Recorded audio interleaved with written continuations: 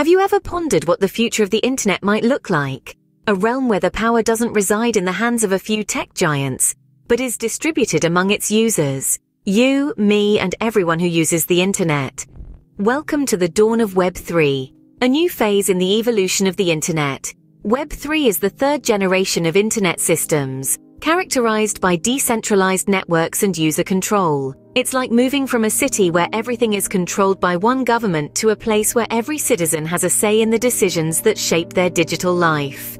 Web3 promises to shift the power dynamics, putting you and me at the center of the digital universe. In this world, the user is the king. With Web3, we have the potential to own our data, control our digital identities, and even earn value from our online interactions. Web3, a term that is increasingly becoming a buzzword, is poised to disrupt the way we interact with the digital realm. To understand the potential of Web3, we must first look into the past. Let's take a quick journey through the evolution of the internet. It all started with Web 1, the static read-only web. This was a place where information was published and consumed, but interaction was minimal. It was like a digital library, filled with information but lacking in conversation. Then came Web 2, the interactive read-write web. This was a major shift, transforming the internet into a global platform for communication and collaboration. Here, anyone could create and share content, leading to the rise of social media, blogs, and online marketplaces. Now we're entering the era of Web 3, the read-write-execute web. This is a decentralized version of the internet, where users have control over their own data and interactions are facilitated by smart contracts.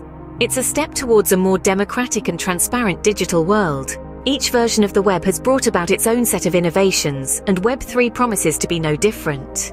So, what exactly does Web3 have in store for us? Let's dive in to explore the potential benefits and innovations that Web3 could bring.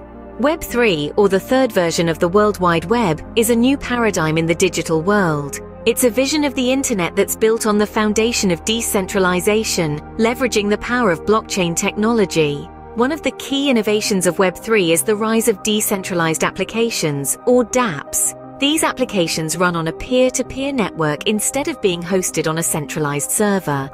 This means that they are not controlled by a single entity, making them resistant to censorship and giving users more freedom and control. Imagine an internet where you can interact directly with digital services without going through a middleman. This is the promise of Web3 and it's already being realized through blockchain-based systems. From social media platforms to online marketplaces, blockchain is providing the backbone for a new generation of services that are more transparent, secure, and user-friendly. And then there's decentralized finance, or DeFi. It's a financial system that's built on blockchain, aiming to democratize finance by removing intermediaries and allowing peer-to-peer transactions. DeFi is already disrupting traditional finance, offering new ways to lend, borrow, trade, and earn interest on digital assets. But perhaps the most exciting aspect of Web3 is the promise of more user control and privacy. In the Web2 era, tech giants have an unprecedented level of access to our personal data. Web3, on the other hand, envisions a digital landscape where users have control over their own data. This could lead to a more private, secure, and fair digital world. Web3 is not just about technology, it's about reshaping the digital landscape. It's about creating an internet that's more democratic, more transparent, and more empowering for its users. Web3 seeks to give the power back to the users, creating a more open and equitable digital world. While Web3 holds promising potential, it is still in its nascent stages. Picture it as an infant, full of promise yet with much growth ahead. One of the major hurdles to overcome is scalability. Today, blockchain networks, the bedrock of Web3, struggle to handle high volumes of transactions. This is like a highway with only two lanes, causing traffic to slow down. But fear not, solutions are in the pipeline. Layer 2 networks and sharding are just two examples of innovations aimed at widening this proverbial highway, allowing for faster and more efficient traffic flow. Beyond technical challenges, there's the question of regulation.